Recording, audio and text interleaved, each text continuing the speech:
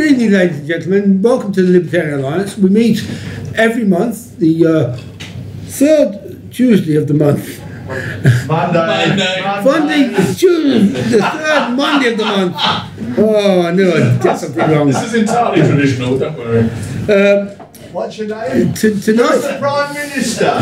Who's the Prime Minister? That's a bit of a tricky one. isn't it? Well, it is indeed. It's, uh, it's Boris while I speak, but it might not be while you're watching this. but uh, anyway, uh, uh, uh, our speaker tonight is Dr. Sean Gabb, and he is going to talk on uh, corporate censorship. With that, I'll hand it over to you. Oh, thank you, David. You normally give longer introductions, but thank you for that. Um, well, good evening. So many, so many old friends around the table, and one or two new ones. We were. I, I did originally suggest that I should talk about Islam, but um, it was suggested to me by various people outside this room, I might add, that um, whatever I said about that subject might not be entirely well received, and so and so I, I changed the topic at the last minute. Good evening. So this evening I will try to talk to you about corporate censorship, what it is, how it operates, and maybe what we should maybe we maybe what we should believe should be done about it. I'm not a founder member of the Libertarian Alliance, but I did join in December 1979, which makes me pretty pretty high up the uh, membership list. And back then, we all agreed, and David will correct me if I'm wrong, that the foremost violator of life, liberty, and property was the state. It, was the state which had the power to kill us, to imprison us, to tax us, and to do all the other bad things in life to us. You may say that this remains the case in the ultimate sense, but in recent years, what we have seen is the rise of what the title of this talk calls corporate censorship.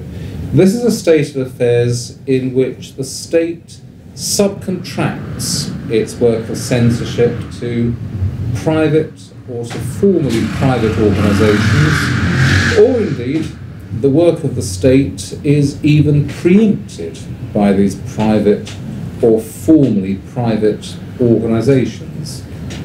Uh, as libertarians, we have an obvious answer to state censorship. When you see a law requiring publications to register themselves and to um, sign up to various codes of conduct, or when you see the police breaking into um, into people's door, breaking into people's houses because of what they've said or written, or when you see concentration camps, or when you see the Inquisition, all of these things, we are within our comfort zone as libertarians. We know that we're against it, and we know that the answer to this is simply to abolish it, to shut it down, to stop it from happening. But when we see it done by these private or formally private organisations, uh, I've noticed that there is a, a certain lack of clarity in our response. And I don't claim to have all of the answers, I, I don't even claim to have any of the answers, but I, I think it is a subject that is worth discussing, not just tonight, but worth discussing generally within our movement. After the um, after the various disturbances in the United States that followed the election of Donald Trump, corporate censorship, which was by no means a new thing at the time, came suddenly to our attention. Um, you notice that, uh, that, that, that um, Facebook began shutting down pages. It, it began it began expelling its members. Twitter began monitoring posts or tweets. and um, again expelling people from Twitter. And YouTube began a purge of um, videos that it considered to violate community standards. And uh, more recently, Amazon has been doing the same with books. Um, for, for a while, David Duke, the American, should I call him, National Socialist? No, White Nationalist, that's it. David Duke, the American white nationalist um, writer and speaker, has had trouble with his YouTube videos. And I believe Kevin MacDonald, another white nationalist in America, has had some of his books removed from the Amazon platform. People have lost their jobs.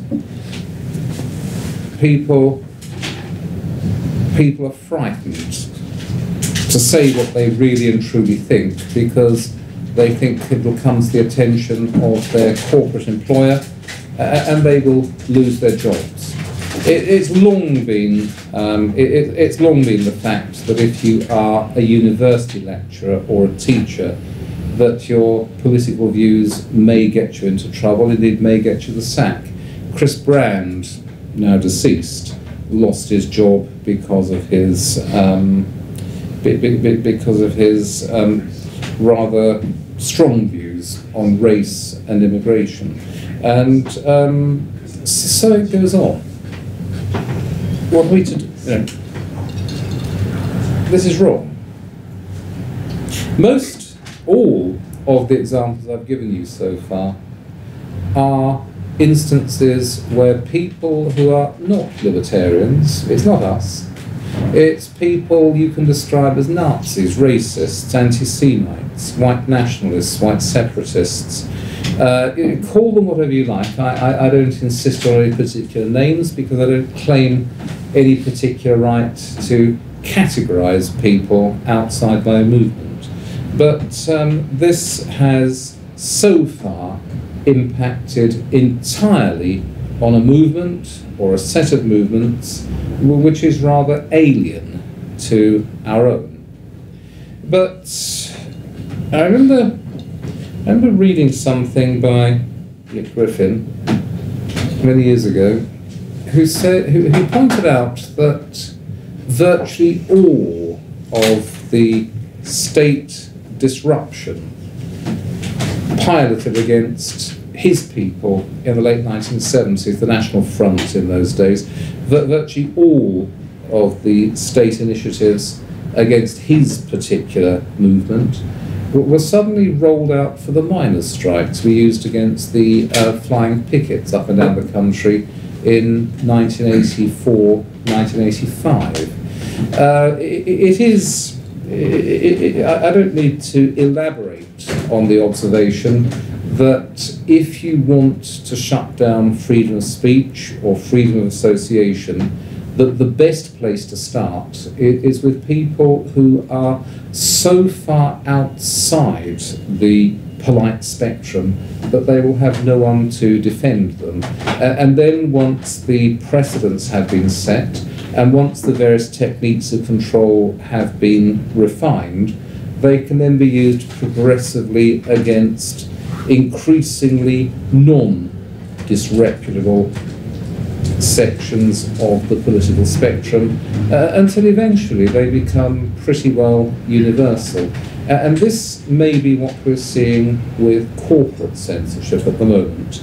Censorship carried out not by the state, but by organisations which are actually or formally separate from the state.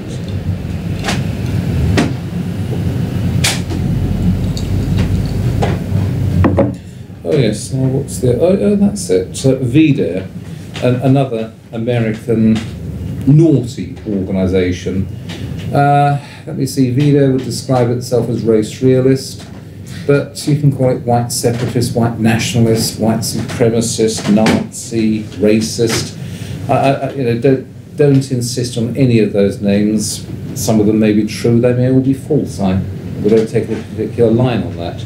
But VDARE a few years ago had its um, PayPal account shut down it, it violated the terms of service, i.e., it, um, it had principles with which the owners of PayPal disagreed.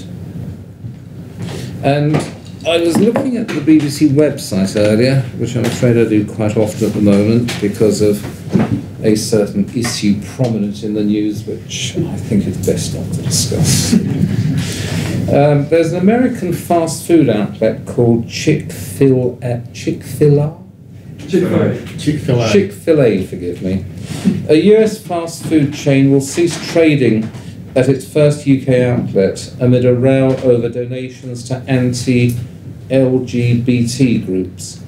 Gay rights campaigners called for a boycott of Chick fil A, which opened its first branch at the Oracle Shopping Centre in Reading on the 10th of October. That would be 2018.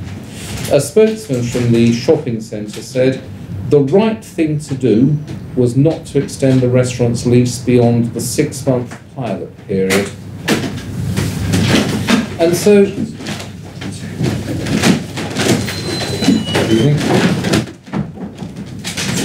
And so, what you have is an emerging or an actual state of affairs in which you have the formal right to say pretty well anything you like, but it is becoming very difficult to exercise those.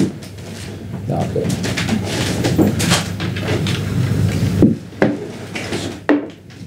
Thank you.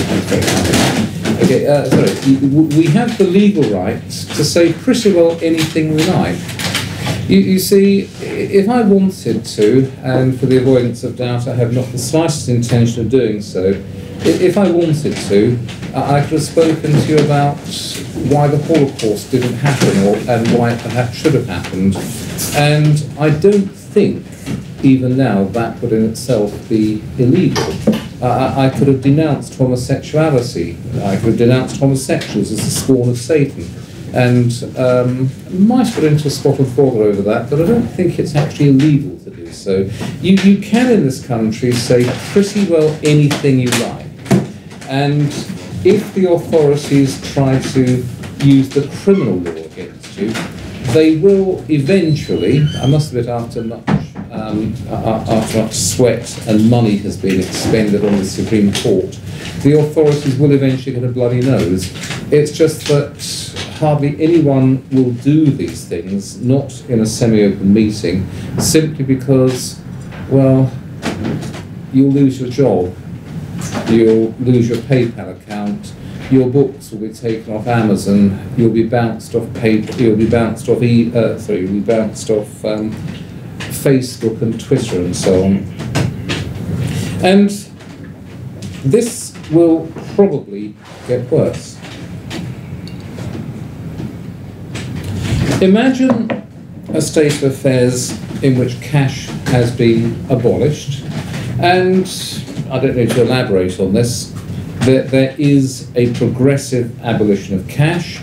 It's being abolished because it is old fashioned, it is inconvenient, um, cash can be stolen, and uh, the authorities, who don't particularly care about our convenience or the security of our property, are also very keen on abolishing cash because it cuts down on tax evasion and um, it, it also allows the central banks to go about their strange monetary experiments without the chance of a significant leakage of money from the system.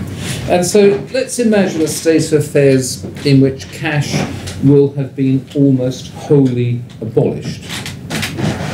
At that point, every purchase you make will be logged. It'll be uh, that it'll be on the record.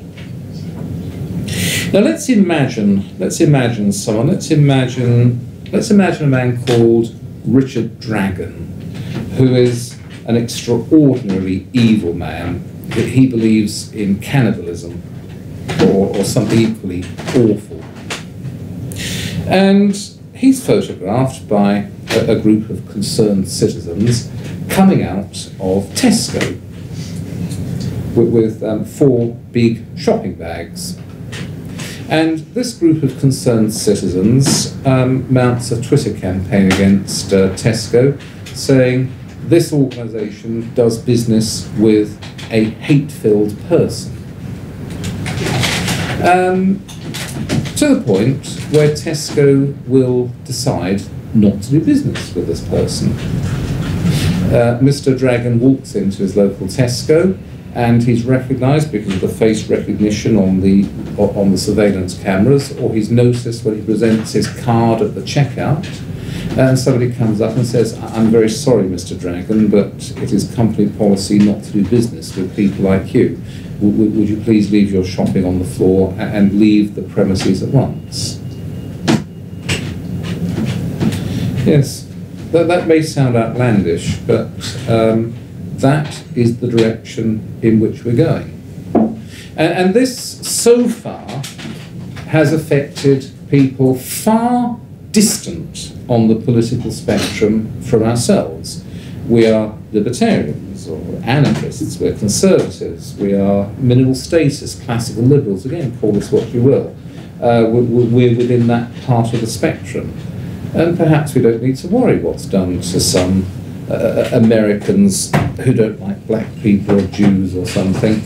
But, but again, I do suggest that uh, when a precedent has been set and when techniques of control have been refined, they will almost inevitably be extended to cover more and more of, of the spectrum, and the area of what is entirely safe and reputable speech will be diminished. And although we're not next on the list of people to shut down, we may be somewhere on the list of people to shut down. And so, what can we do about it? Uh, one of the one of the problems with this kind of corporate censorship is that it's private. And I, I, I won't refer you to any of the uh, blogs and postings uh, and even newspaper articles, but the obvious defense is Facebook is a private organization. It's owned by Mark Zuckerberg and the shareholders, and if they decide that people can only post while sitting naked in front of their webcams, it, it is their it, it is their moral right to do so. It, it is wrong to interfere with um, their choice of, of, whom they will associate with. And it's the same with Amazon. It's owned by Jeff Bezos and his shareholders. And if Mr. Bezos doesn't want to sell books by people whose views he abhors, then he has the absolute right to do so. As we ourselves have continually, continuously said over the years, the right to the right to freedom of association includes the right not to associate. And if Mr. Zuckerberg and Mr. Bezos do not want to associate with certain people and eventually may not want to associate with us, that is their absolute right. And to start talking about any legal measures to compel them to associate with people whose views they do not share is of exactly the same kind as those laws which have compelled Christian bakers to, to make cakes for gay weddings. And we are surely against that. So, yes, so, so what response can one give? I suppose the answer is that uh, the organisations the organisations which carry out these acts of censorship are not usually private organisations. I've described them so far as formally private organisations. They are joint stock limited liability corporations. And these are not the same as entirely private enterprises there, there was a time when there was a time when this could be an entirely abstract argument. I remember having the argument with Jack Wiseman at York in the 1980s. He's, he once grabbed hold of me when I was an undergraduate and said, So, you believe in free markets, do you? I said, Yes, yes, I believe in free markets. And he said, So, you don't believe in limited liability? And I'd only just learned what limited liability was, but I said, uh, yes, of course I do, because it's part of the market. And he walked off with a curl of his lip. Quite rightly so, in my opinion now. If you are, if you set up a joint stock limited liability corporation, you are getting a group of privileges from the state which would not exist in any market order or any natural order. Again, call it what you will. If I am the director of a limited company and my company is unable to pay its debts, the company goes out of business, the company is insolvent, but my personal assets are untouched because a limited company is regarded by the law as a person. That person is responsible for its debts. The person who owns and controls that company can walk away entirely free. Now, of course, when there is uh, when there is strong evidence of fraud, then it is possible for the courts to lift the corporate veil uh, and to grab the assets of the directors or the shareholders. But this is an extraordinarily rare occurrence, and in the normal course of business, when a company when a company becomes insolvent, the shareholders and the directors do not lose any of their assets. I've heard people argue that um, in an entirely natural order, something like limited liability would emerge via the market because, because businesses would contract with their creditors and customers over the, um, over the extent of debt payable in the event of insolvency. That may well be the case, but there is no contracting out of, uh, of payment for damages in torts if you are the director of a limited company and the agents of your company damage somebody else's life or property, the company can be sued. If the company's assets are insufficient to pay the damages awarded, then again, the assets of the owners and the directors of that company are untouched. Now, one of the consequences of limited liability, which is the main, which is the main benefit of incorporation, is that companies are able to attract much larger amounts of investment capital than would otherwise be the case. You, you see, if I invest, if I invest in Paul, if I invest in your private business, which is running parties of some kind, um, and and you go bankrupt, I, I may be associated in your bankruptcy so far as I can be called a partner. If, on the other hand, you set up a limited liability company, uh, a limited company, forgive me, then I can buy shares in your organisation, and if you go down in a welter of lawsuits, then again, I can walk away. I lose the value of my shares, but nothing else. And, and, so, because of that, people are more inclined to invest their money in limited companies. And that means that those companies can grow larger. Uh, another consequence of the incorporation laws is that because there is a natural separation of ownership and control, it, it's possible for limited companies to avoid the, the normal business life cycle. So, so you start you start a small business, it, it works, you grow rich, uh, you then get old and past it, the business starts to crumble, or you hand it over to your children who may not be so um, hard working as you do. And so the company has a limit to its size and a limit to and a limit to the time that it lasts. With limited companies like Nestle, for example, which was set up in 1869, it, it is in principle immortal. The, the first generation of shareholders died maybe 100 years, over 100 years ago. The first generation of directors and managers died a very long time ago, but they reproduced themselves from generation to generation. And, and it is therefore possible for these companies to last a long time uh, and to grow much larger than would otherwise be the case. In the absence of any incorporation laws, it is unlikely that Amazon would be such a large business organisation. I'm, I'm not attacking Jeff Bezos. He's a wonderful man. He's put a lot of money in my pocket over the years, but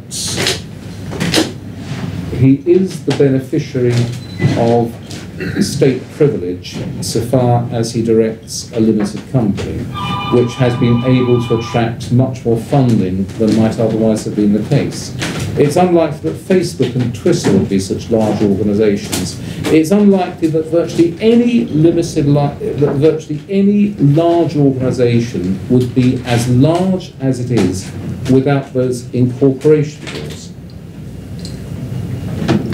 And so, because these are only formally private organisations, I, I, would suggest that um, that the company laws should be altered so that these organisations are compelled to respect the freedom of speech of their employees and of their customers. So far, Facebook has been compelled to respect the censorship laws of the jurisdictions within which it operates. Facebook is being chased by the French and German governments at the moment over the postings made by various people on Facebook.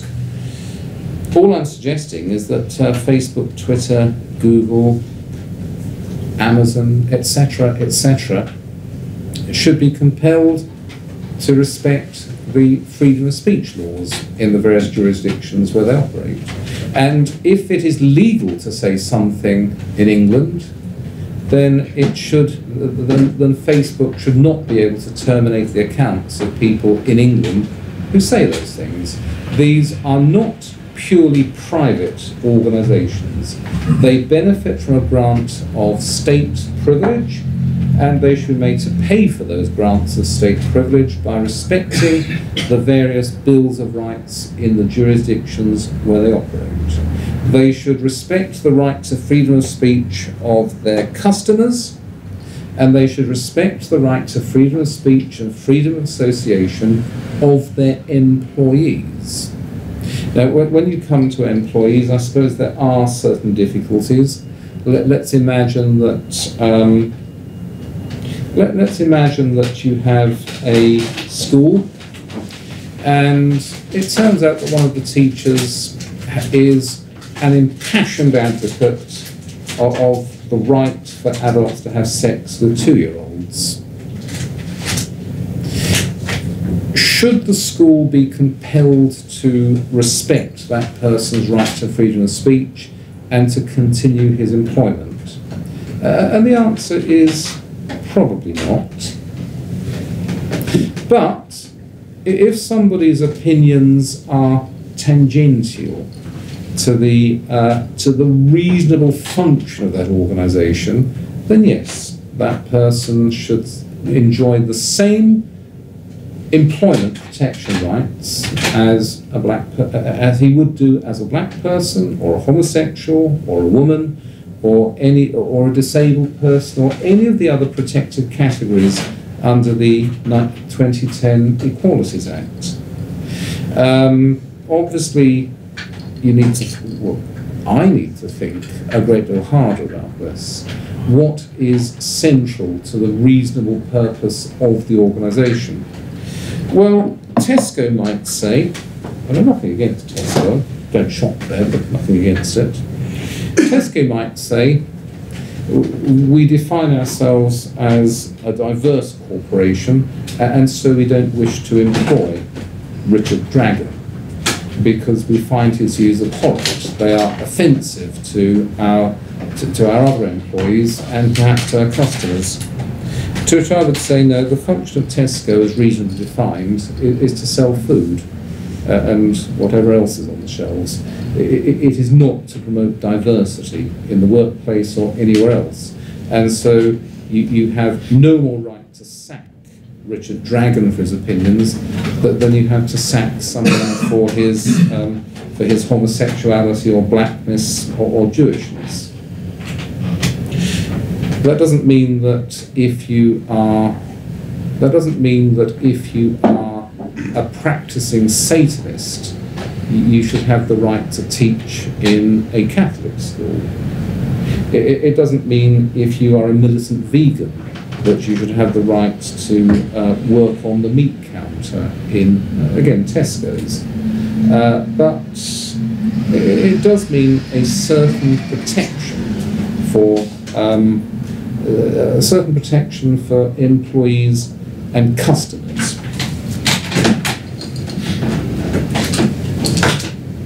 I don't believe that this should apply to unincorporated businesses because they are private.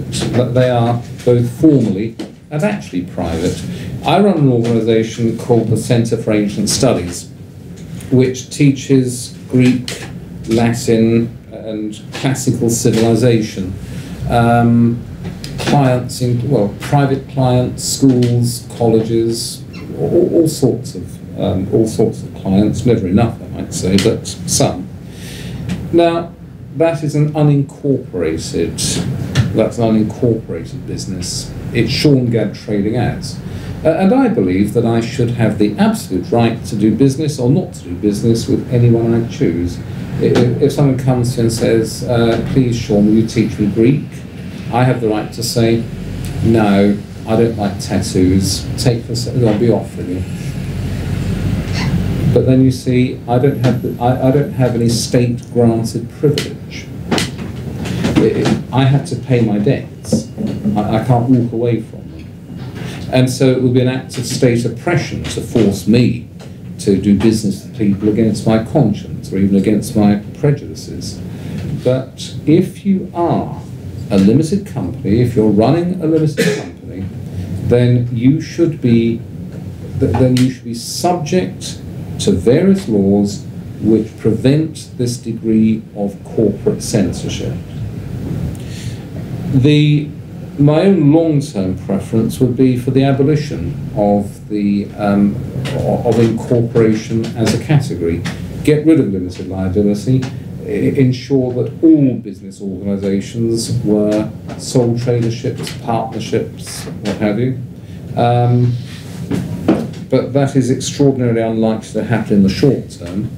In the meantime, we do have the precedent of the various anti-discrimination laws. And, and this, I suggest, is the only way to shut down a real and present danger. This is not some hypothetical danger. It is real. There was a time when these big businesses were only interested in making money. A- a- and when that was the case, let's say in the 1980s, when that was the case, you, you could look the other way from limited liability and say, well, it doesn't matter, it doesn't have any particularly bad effects. But uh, ever since the cultural leftists moved into the corporate world, that they've been spreading their views from various human resources departments, diversity departments, and all sorts of other things. It's a bit like um, cultural leftism or totalitarian humanism, or again, whatever you want to call it, has been spreading through the business world like, uh, like herpes at a swingers party. It, it just goes round and round and round. And at the moment, as I said, if your views are considered particularly abhorrent by the powers that be, you will not be able to publish your books on Amazon, which means effectively you will not be able to publish your books. You won't be able to sell them. You will not be able to spread your ideas on Facebook and Twitter. You will not be able to receive donations, or um, you won't be able to take payments through PayPal. And it is possible, as the technology moves on, that you will be banned from buying food in the supermarkets. And the only short term effective solution to that is to accept that we do, though in principle they are of course evil, but to accept that we do have anti discrimination laws and, and to insist that those anti discrimination laws, which will not be repealed in the foreseeable future, should be extended to cover political belief. Um, which means that if you are if you are a limited, if you are a committed Christian and your bakery is a limited company, then what I'm saying is that yes, you should indeed be compelled to bake that wedding cake. Not, not if you are an unincorporated association, not if you are a sole tradership or a partnership. I, I'm not saying that um, I regard anti-discrimination laws as in any sense a good thing. Uh, I'm simply saying that they exist and extending them is probably the lesser of evils than allowing this cloud of censorship to spread far beyond the state throughout the corporate world. Now, um, I, I could go on and on, but I think I've said everything, have I? Yes, How long have I been speaking? 30 minutes? 35. Excellent. Okay, that's it. And let, let me suggest that um, I, I know that quite often these discussions are centred on the speaker. Sean, do you think this? Sean, do you think that? I, I've said most of what I think. Um, if, if people want to, if the question and answer session could become in part a general discussion, I shall not feel at all put out. Thank you very much indeed. Thank Paul.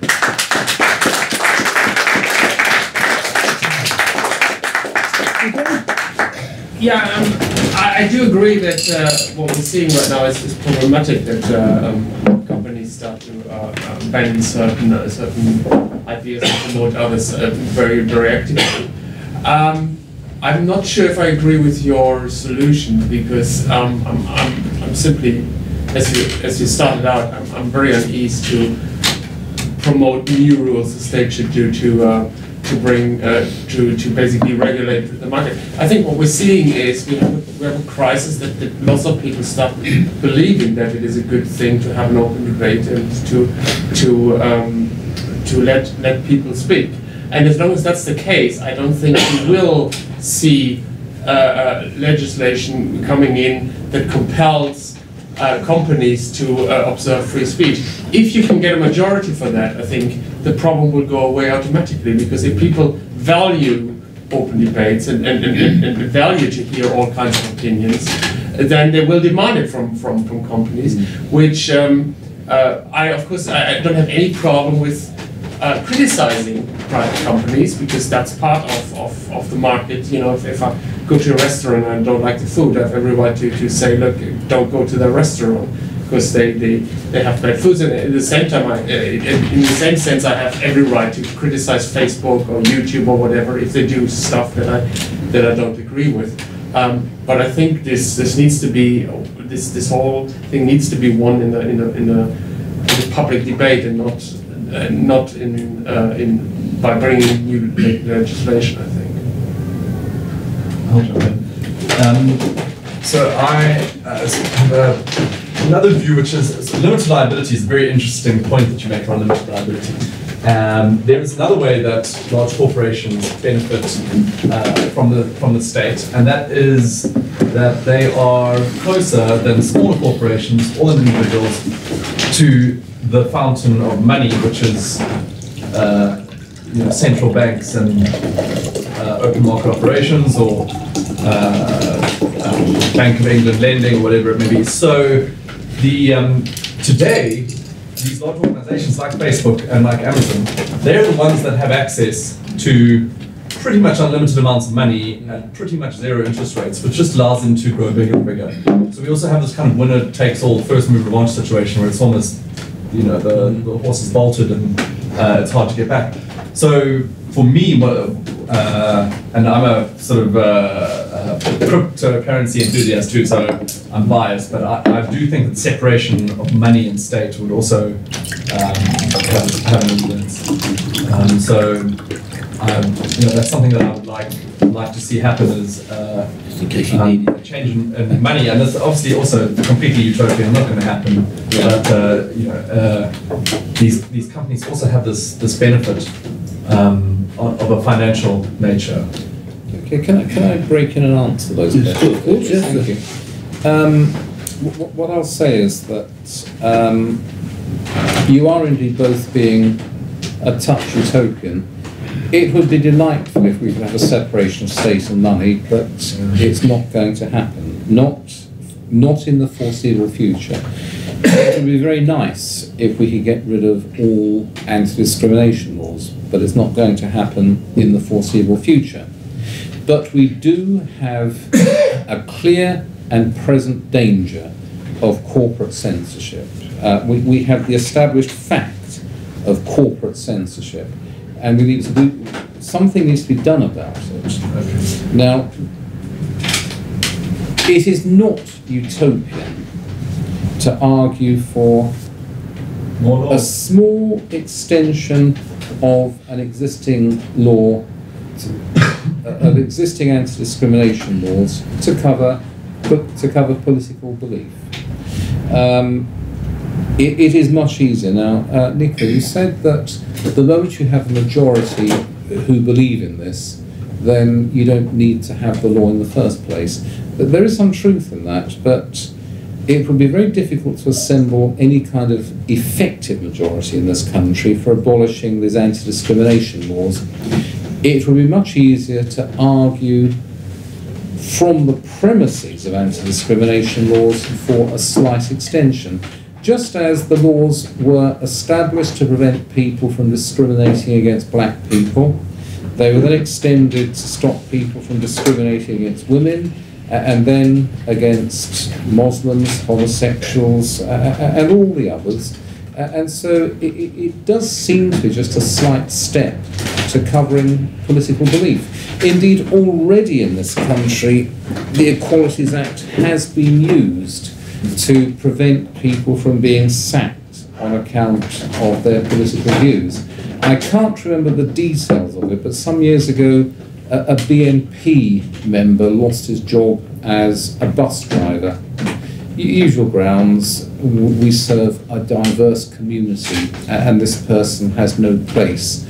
And the employment tribunal said, "Oh, you know, nothing to do with that. Your job is to uh, drive buses, not to, not to spread sweetness and light." A- and so, to some extent, we already in this country have such a law, which we don't have in the United States. And, and so, all I'm arguing for is a slight extension of an existing set of laws, a, slight widening of an existing legal framework, which is much more likely to be effective than arguing for the abolition of limited liability, which I would love, or, or the separation of money and state, which I'd love, or, or just the straight abolition of, of most government, which I would of course adore, but it won't happen. And in the meantime, in the meantime, one of us may wake up tomorrow and find that our books have been delisted from Amazon. Is anyone else who's? Um, I agree with you on most of what you say yeah, about definitely about the corporate uh, censorship, um, but I have to disagree with you say about you can pretty much say anything you want in this country because you have the Public Order Act, you have the Communications Act, and these within, especially within the last few years, there has been well, let's compare it to this in Russia, where apparently they abuse civil liberties a lot, if you believe the narrative. Um, in orders of hate speech laws, they've only arrested about 600 people, a massive country. But in this country, just last year, they've arrested almost 6,000 people for the exact same thing. Yeah. So I, you know, and I've, I've spoken I, I give speeches as well a lot, and I speak about this a lot. And if you're pushing, if you're saying, you know, and I do agree with you, it is more realistic to simply have, um, you know, uh, extend the law or whatever. But I would go even further and go, well, why not have a codified constitution where freedom of speech and it's, it's not only um, limiting government, but also limiting the corporate world as well to believe that. Because in my opinion, I don't think we really do have a well, we do have a constitution, but it's not like an American one where it is it, it focuses more on civil liberties. Hmm. It's more of a convention of what to do next, sort of thing. But it's just based on upon laws and stuff that have come out that ancient enough. I mean, Would you agree with the codified constitution, which also restricted uh, not only governments but Oh, you have these little fantasies. Supposing I were asked to draw up a constitution for England, or, or, or just a little more narrow, supposing I were asked to draw up a Bill of Rights for England, then yes, you can think of all sorts of things. But, the problem is that also isn't going to happen. Um, wh- whereas extending the anti, whereas extending the anti-discrimination laws is probably feasible. Now, now, okay, I accept your point that we do not enjoy we do not enjoy complete legal freedom of speech in this country. You, you do have all of these laws, and I, I I'm not aware of the figure of six thousand people arrested, but I'm not it's 4,000. four thousand, but I'm not willing to contest it because it sounds likely. Um, that being said, we do enjoy a very substantial protection in this country of our freedom of speech. Um, much more so than many other countries in the world. It just isn't as it just isn't as extensive protection as we would like. But but you see, the real danger to freedom of speech it is not that the police will march into this room and start arresting us or pistol whipping us. The, the, danger is, is simply that um, your Twitter account will be terminated. That, that, that is much more likely.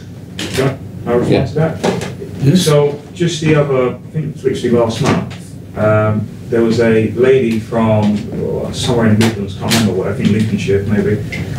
Um, she said a tweet. She was sort of debating slash arguing with a transgender individual who was a man who then transitioned into a woman.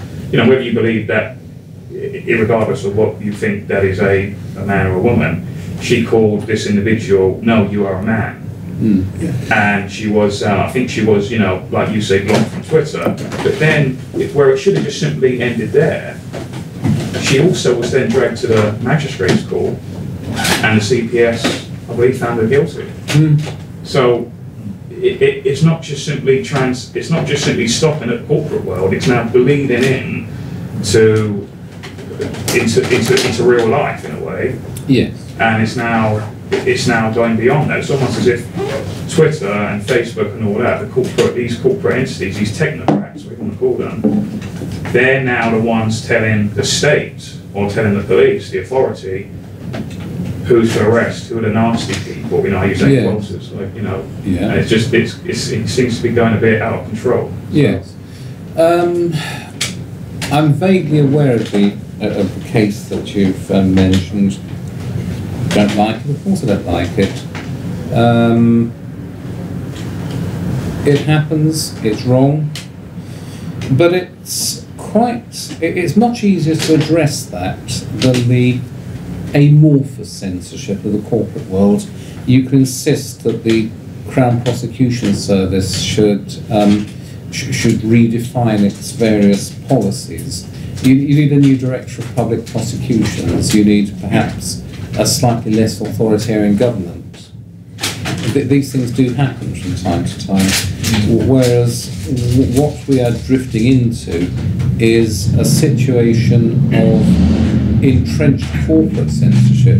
Indeed, we're reaching the point where we could actually have some, we we actually have a constitution um, with the same protection of freedom of speech as the United States, but we still would not have really effective freedom of speech. Indeed, that is the situation in the United States. The law says that you can say virtually anything you like. I think you can say anything you like in that country. It's just that you can't if, if you uh, want to put bread on the table. And that's the problem. Uh, Paul, uh, sorry, uh, but you can have a go next. Paul, you want to speak next? Yeah, uh, Okay, uh, but, but Paul first, and then you afterwards. okay, uh, sure, yeah. Uh, might it be the case there's a little bit of special pleading going on here in that you're a highly successful published author who has controversial opinions and might be more in line to be victimized by Amazon or Twitter or something like a lot of people who are creative users of these things. So a lot of, I know a lot of conservatives who use YouTube are often moaning about being self being demonetized and so there's a lot of threat for people there is a direct and present danger for people who try to make a living out of using this very modern media. But in the long run, if you let the market operate, there will be other firms coming up to replace it. If they start throwing up too many people, other firms will come in and take them over. And I also think, again, your comments on limited liability, I think it's very unrealistic that a purely libertarian society could only operate on sole traders with absolute liability.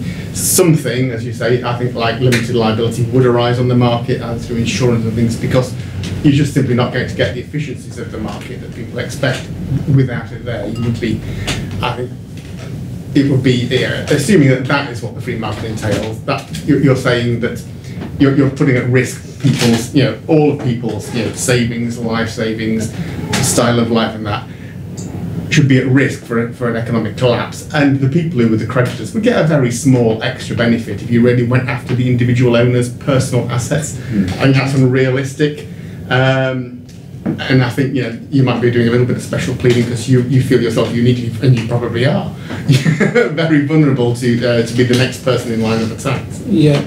Uh, two points there, Paul. The first is um, an invitation to a long argument over limited liability, and let's decline that for the moment. But let- let's, Yeah. let's reserve it. Um, special pleading. Well, of course it may be. Yes, I, I do. I, I do look at the approach of the censorship, and I worry that my own books might one day be delisted, and my own YouTube videos might be demonetized. But practically speaking, it's not going to happen because I am not an effective enemy of the system. I am not. Um, I, I- don't believe in any of the um, in any of the prescribed ideas. My fear is well, no, th- th- there is a possible fear. It's possible that um, I shall be I should be accidentally swept up in the next purge, just as um, quite if you establish a police state and decide to round up all your political opponents. You, you may find that unfortunately your younger brother was among the people thrown out of a helicopter or bayoneted in the football stadium, purely accidental. Or I may be worried that sooner or later there'll be nothing else left to ban, so they might as well turn to me. But it's not very likely. But the fact that I am operating in those areas means that it may not mean that I am frightened myself, but it may mean that I am more strongly aware of the dangers than people who don't operate in those areas. So, partial agreement. uh, you said the United States has freedom of speech. Well, that's really not true. We have the left and we have the right side. If you uh, you have the middle class, and if you don't agree with them, they will just you know, you know, they will destroy you. We don't have. Uh, only thing we have, we have the first constitution, freedom of speech. Yeah. Second, the bear arms. Now that works. You know, and my partner he has a gun, and we have a, you know, we have a right to do that. Yeah. But we do not have freedom of speech because if you don't say the right things at the right time, they will cut you off. They're trying to cut off the talk show hosts mm. show because they have freedom of speech. But we do not have, you have more freedom of speech than we do. You have access, I looked at your television. We couldn't have, say, swears on the television in the United States. No, that's not allowed. We do not have freedom of speech like you guys have. They're cutting it out. Well, hi. I enjoy your books. They're very graphic. Thanks. And I, I like I, I like uh, you, I like your hard copy publication, which you send me. Elegant. It's a good one. Yeah, that is good. I do. Um, yeah. Well, because I don't know America that well, I'll just agree with you, or I'll go along with you. I, I know that America is not a libertarian paradise. Uh, let's, I think we can all agree on that. I just don't know in which country you have greater effective freedom of speech. You've got that wonderful First Amendment, but um, Doesn't work. no. It works if you have enough money, I think. Exactly. Yeah. We're the fruit, and uh, we- we're the many, and they're the fruit. Yeah. We're the middle class. They got the money, Yeah. and they could decide what we want. If you've been following, in, you've been following the politics in the United States, the left from the right, we're cheaters. Yeah. The left is no, we're hoodlums. The left is no better than the right. No. No. They're hoods. They're gangsters. Rather sad that, like, it'd be nice if Americans came along to argue that they did have freedom of speech. It's just that I don't know any Americans who do. Anyway, um, let me turn it slightly. Um, is there, is this corporate censorship such a serious problem? Um, I, I tend to be rather sensitive to these things, but I've been sensitive to all sorts of things for 40 years, and most of them haven't happened. We still don't have identity cards, and um, most of the awful things I predicted back in the 90s still haven't come entirely to pass. And, and so perhaps my fears that uh, people will be prevented from buying food in the supermarkets is um, a, an equally outrageous fear. I don't know. Depends if it's a monopoly, right? If you can, if you stay, if Tesco stop you buying food and Sainsbury's doesn't, then you're okay, but if all of them. But if it's only Tesco's, Hmm. or if they all stop you buying food, then you're screwed, right? The Asian corner shop won't stop you buying food. you still buy food in the Asian corner shop. Yeah, that's true. Yeah. It Yeah. just costs fifty percent more. yeah. But Pat, Okay, yeah, I- actually, on that point, I I think you need a, really need a cashless society to be able to do that. But just to come back to that, what do you think is behind the war on cash? I mean, I suspect that behind it, are things to do with high finance, for example, negative interest rates.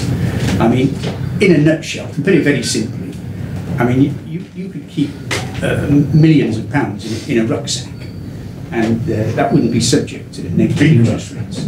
If, if you didn't have cash, then there's no way you could escape uh, the state control of, of, of negative interest rates. So I suspect this high finance. But more recently, I've come to think that maybe there's something more behind this. I mean, I'll just give you a simple example. Um, I, I, I tend to use um, left luggage lockers a lot. Uh, and and uh, it's certainly, I mean, recently uh, in Amsterdam, putting your left luggage there, I tried to pay cash and they would say, no, no cash, only uh, credit cards. And, you know, and, and usually you argue with these people and they'd end up saying, this, uh, first of all, you want it. Actually, as I said, I want it. you know, it's like it's voted for in some council. Uh, odd election. Uh, and secondly is to stop the terrorists.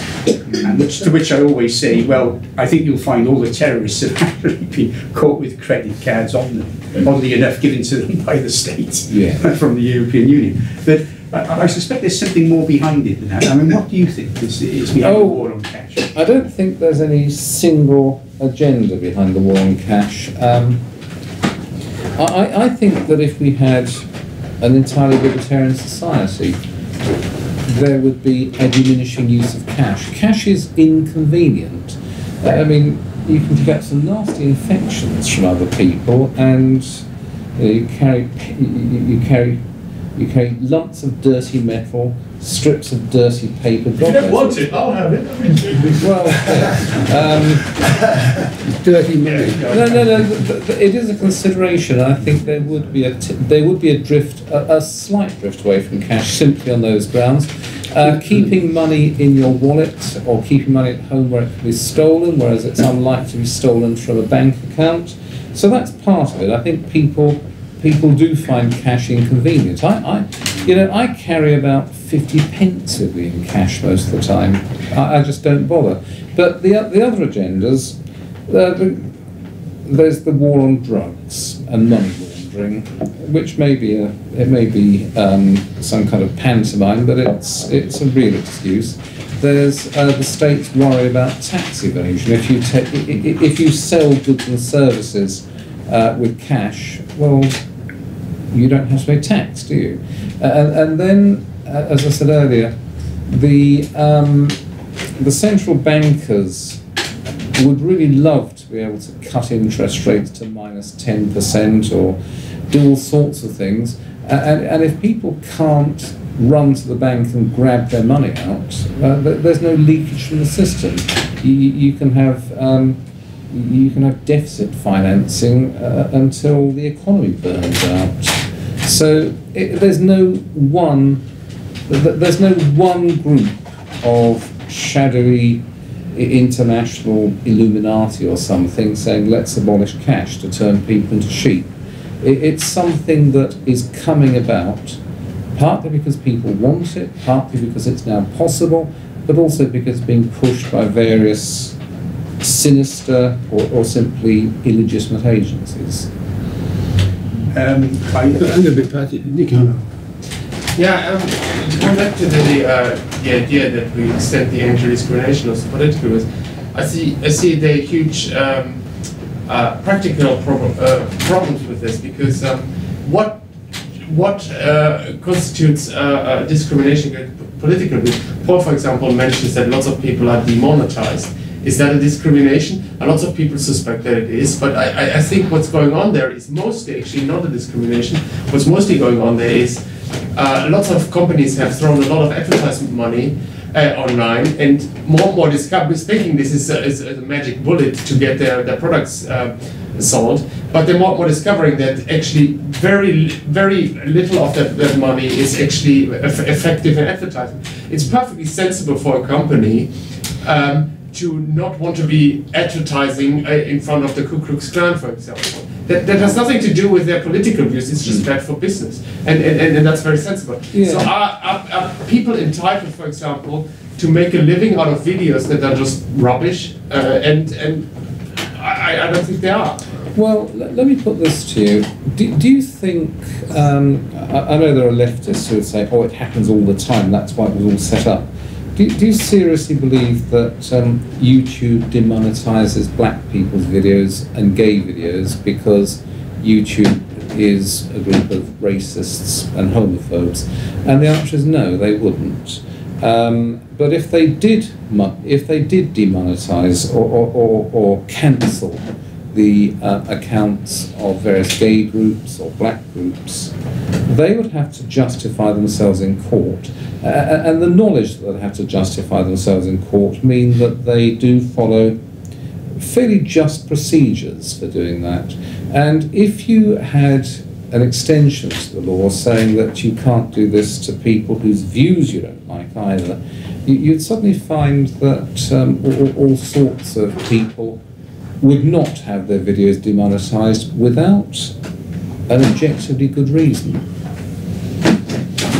Yes. Um, so, maybe a bit of good news is, is that um, although we can't necessarily, uh, uh, although right now uh, these people are being censored on these mainstream platforms, it's not just that they that, that they need to be uh, heard on those platforms, but they, they just need somewhere to be heard, don't they? In the first instance, and uh, and there are a lot of uh, or there are platforms starting to appear now that are censorship resistant, either in their policies, but more importantly in their technology. And another thing that's coming out of the blockchain space, which is I think is quite encouraging, if we can't achieve separation of money and state, which I don't disagree with you uh, on at all, it's uh, definitely a utopian concept, uh, then at least we can build platforms that are censorship resistant. And so, taking YouTube as an example, there's a, a website called DTube, which is uh, decentralized tube, and it's absolutely fantastic. And you can put pretty much anything on there. And Yeah. There's Twitch, and there's uh, several others. That's encouraging. Yes, I, I accept your point. This may be, this may be a passing phase. It, it may be that um, the apparently inexorable rise of e-based big business is a temporary phenomenon, and in five years' time, people will be thinking, "What was all the fuss about?" But um, it may not be, and we have a problem at the moment, and this problem may continue for quite a long time. Now, we have freedom of speech in this room, when when David or Nico booked this room, you didn't have to show identification. You didn't need a license from the police. There's no police officer sitting in on this meeting. Uh, nobody is taking. Nobody outside this room is taking any interest in what we're saying. None that we know of. Pardon? I said, none that we camera right over there watching this. Yes, but there isn't. You see, Why there, did the topic change? there, there are countries. There are countries. Uh, that, that's uh, for my own protection. Okay. There are countries in which meetings of this kind must be recorded, and copies of the recording must be lodged with the local police. Um, now, nothing like that in this country. It's just that if we want to spread these meetings, we do. We have little choice at the moment. It's Facebook, Twitter, YouTube. Uh, oh, somebody else will come back and say, oh, there's this one as well. And I'll say, yes, yes, there's Gab, there's VK, and so on. But you are looking at Facebook, Twitter, YouTube. And if those organisations decide not to allow libertarian anti state propaganda, then this meeting might as well not have taken place as far as the overall uh, the, overall struggle is concerned. And that's the problem we face at the moment. It may be that in 5, 10, 20 years, YouTube will be a memory. You, you, you'll need footnotes in, in school books uh, to remind school, to tell school children, YouTube was an early um, was an early video sharing website. Went out of business in 2025 or something, but that's not the case at the moment. So we have these vast, semi-monopolistic global platforms. I agree with you. Um, the, the worry, the worrying thing about it though is that I think there is some kind of um, sort of game being played in a way where Facebook, Twitter, etc., you Google on YouTube, they want to be regulated, right, by government, right? And I feel as though it's that they're pushing this censorship because they are destined for regulation, I think, because of the way that they're banning. And there is there is um,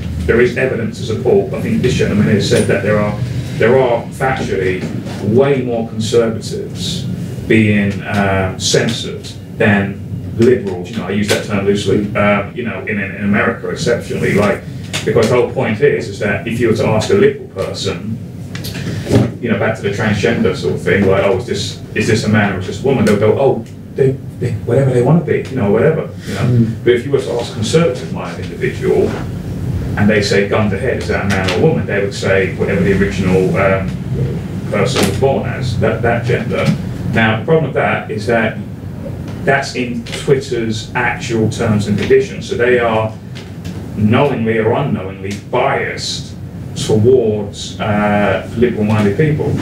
So they're sort of thing. So now that's why Mark Zuckerberg and um, Jack Dorsey, who owns this um, Twitter CEO, they've been dragged to the Senate, you know, and they've been made to ask all these questions and all this. And I think it's eventually that they will be regulated by it. And if the sort of state sort of takes them over in some sort of way, then that will prolong their existence. I mean, if you look at GM in America and you, you compare the foot, uh, not FTSE 100, what do they call it, the Fortune 500 um, from 100 years ago, there are companies there that you've never even heard of, but they naturally, like you say, gone through a natural cycle of simply coming and going.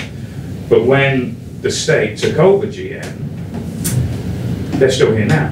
Yeah. So it just prolongs their existence. So that's what I'm worried about is that these social media sites, they, they want to be regulated because it will prolong their existence. Because now at the moment, Facebook, Twitter, they're naturally declining. They're, they're starting to hemorrhage members rather than actually gain them now. They, they've reached their peak. So what are they doing? I want to survive. How can I survive? Well, we get the government to sort of take us over. We'll, we'll practically almost be immortal. Like, you know, and I'm just worrying that. I mean, that, that's just my tin hat foil theory, but do you think that's a, really think that, that that's a possible It's a good one. It's a good one, and I think there's some truth in it. The, the only observation I'd make is that if I were Mark Zuckerberg and I wanted Facebook to be regulated in that way, I think I'd be shutting down gay groups all over the place. Hmm. A- And that's not happening. I, I belong to I belong to a Facebook group called the Companions of Antinous, which is it's a strange crossover group between classicists and gay people, and um, publish all sorts of things in that group. No one turns a hair. But um, I, I do have friends who've been in Facebook prison, uh, uh, and the, the conservative friends in Facebook prison. Sorry, Facebook, what? Facebook prison. I mean, is, does that even exist? Yeah, sure, you, what, what what do you It say, means- Pat? Sure, uh, just- You're shut. You, you, you're, you're switched off for thirty days. Oh.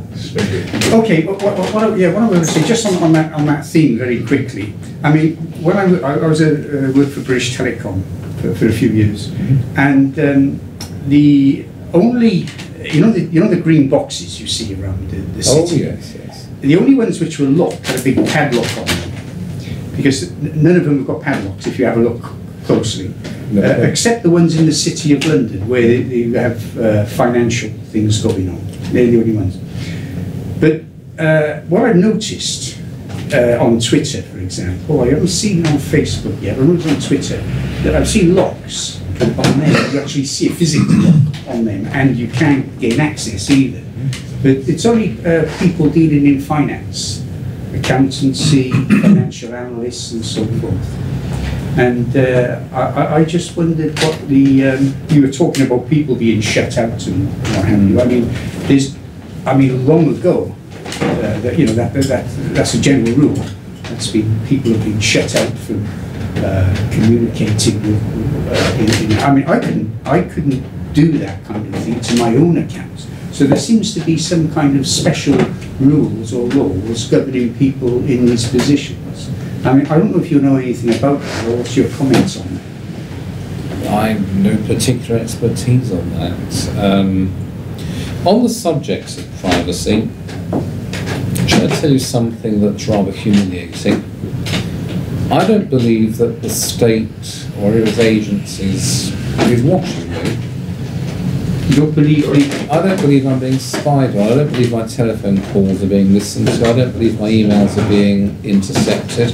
I don't believe anyone's opening my post. I don't believe anyone's anyone's watching my house to see who's, who comes and goes. Um, as far as the state is concerned, I exist as a taxpayer and I exist as a national insurance number. I, I did. Um, in a moment of bravado, I did a I, I did um, a freedom of information request on the on the police some years ago, asking to see my file, and they wrote back saying never heard of you. And I think that's the case with the overwhelming majority of people in this country, including everybody in this room. Um, of course, it doesn't mean that I will stop using clear white. It, it doesn't mean that I'll stop using envelopes and I'll turn to clear plastic packaging when I send things through the post.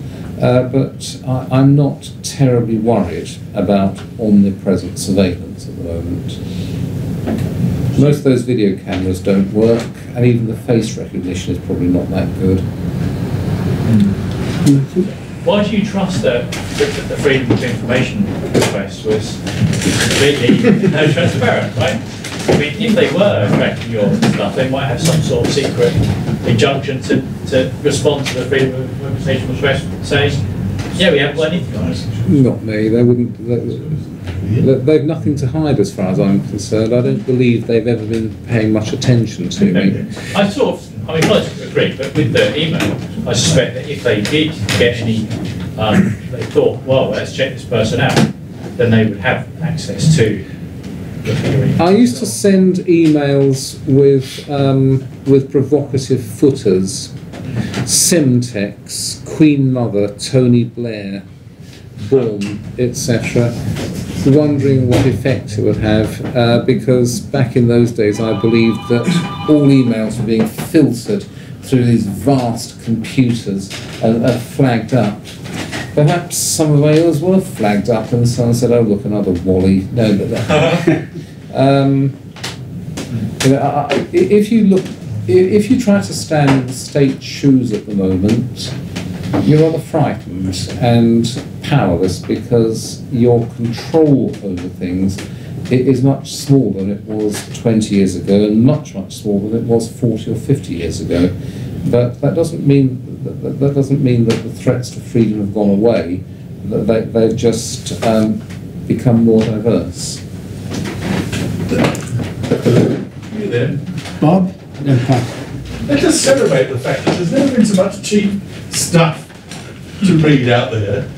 Such, such a diversity of opinions, such a such, such opinions so well and emphatically put, and all for, all for free. Now, of Yeah. course, it would be a shame to lose it to any extent, but it's just been a wonderful time for seeing what other people really think, apparently, and there's very silly ideas to justify what they really think should be done. Um, uh, you're talking about the dangers to this, uh, the disappearance of this liberty and this, this cornucopia of teachers, guff, and gems, also available on the internet. But it's a wonderful time to be surfing and looking and searching, and you have to pay for it. It, it is, it is, Bob, and I'm glad you said that. It's something with which I fully agree, but I didn't mention it. Yes, I, I do agree that our effective right to receive information has expanded immeasurably in the last 25 years. Um, we can now read things in complete security and for free that we didn't even know about at one point. Um, my fear is that this will gradually be whittled away, a- and the way the, the way to take it away is to go after the people who are creating it.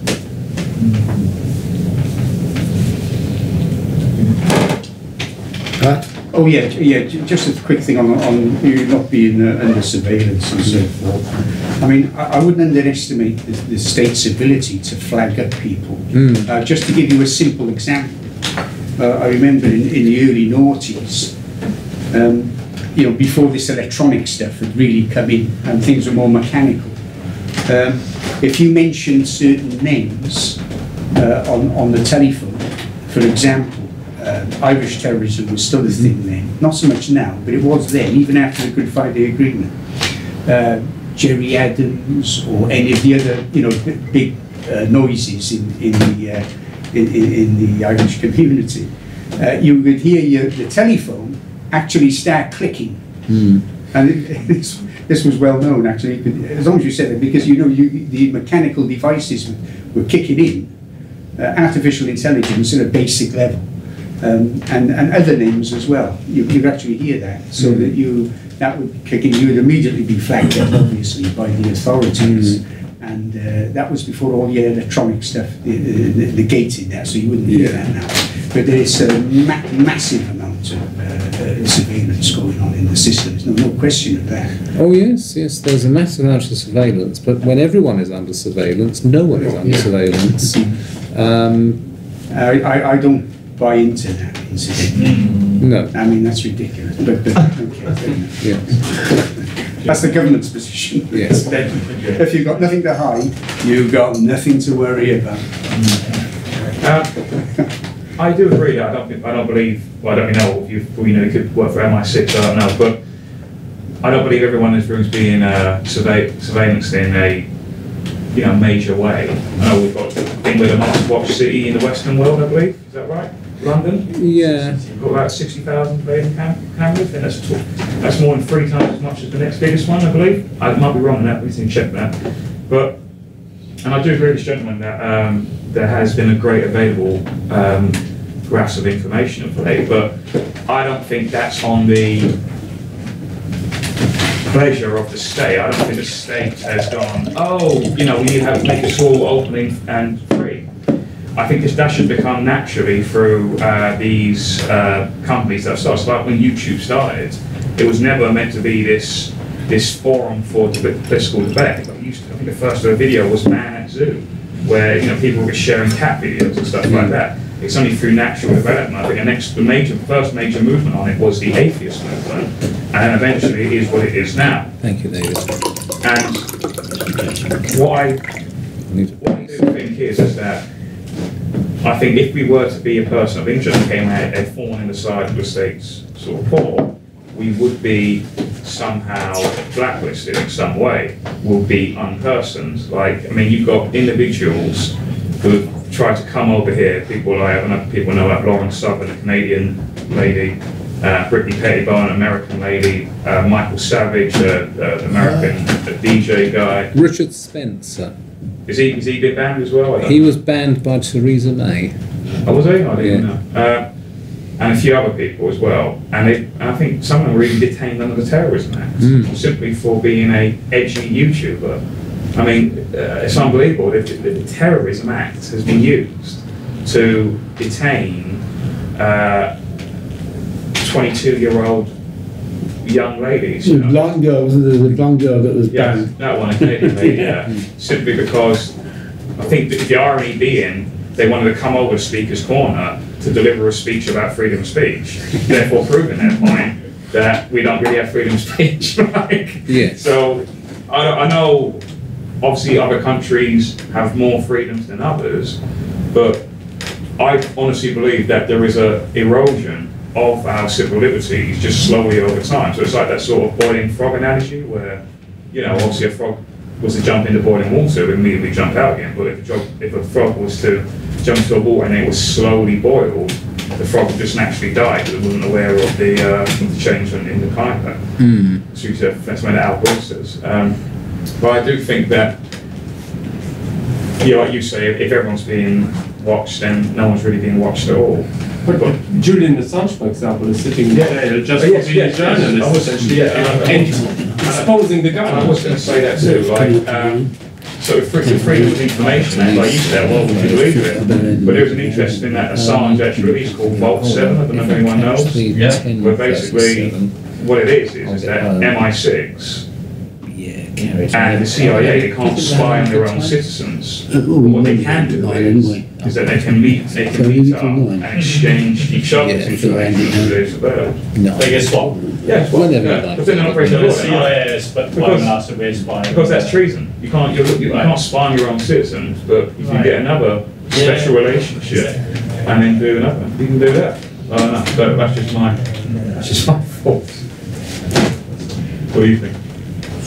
Um, sorry, I was thinking about the railway. track, He's thinking about him catching his train. But I, but can I, can I come back? Yeah. I, I think I think the, the thing with uh, um, uh, Pettibone and uh, Lauren Southern and Martin Sellner, That's I, it, think, that's is, it. uh, I think is the uh, Austrian boyfriend of Lauren Southern, and they formed the Generation Identity Group. The reason they've been banned or for periods of time is. Uh, I think it's just that the left-wing activists have spotted them and grasped them out to the um, authorities and said, "Have you seen what these people are up to?" Yeah. It's not that, it's not that they're being surveilled actively. I think it's just that they're, they're Right. that, yeah, they're, they're being, yeah, it's just, it's just a turf war between left-wing activists who mouth them out. Although, and I noticed, however, I did, I did recall a while ago though, Sean, that your, your link to the traditional Britain group, they did entertain generation identity when they first started. They did, So- yes. So I'm, um, I'm just- but I don't think anybody's being surveilled. I'd have the traditional Britain group are being surveilled or anybody else is being surveilled. I literally think they don't care less until some left-wing agitator says, look, here's a reason to block these people. Yeah. And that it's not Theresa May is not there reading rap lyrics and saying this American rapper who said something homophobic five years ago, we're not letting him in. Like, because I think there's one just been let in just recently, you know. Uh, and he seemed to blame Theresa May because it was, she wrote, she signed a letter banning it or whatever. Yeah. Uh, it's, it's just, they're just reacting to uh, left-wing agitators drawing these people to their attention. And But uh, in the US, for example, antiwar.com, uh, Justin Raimondo and so on, they were probably under surveillance at, at some point by, by the government without being flagged up by, uh, by activists. our government or No, no, the the Ameri- US yeah. John? In the interest of inclusivity, the following people will be excluded. yeah, that's right, yeah. I, I, I was thinking of that when Sean was coming out with his thing. We're going to stop you from speaking because we're interested in diversity. Yeah. I thought that was, uh, I thought that was rather. Well, that's what they do, isn't it? yeah, there's a paradox there. Well, we- but we shall we, we shall we end it now and uh, continue Yeah. it later on? Thank you very much indeed for coming.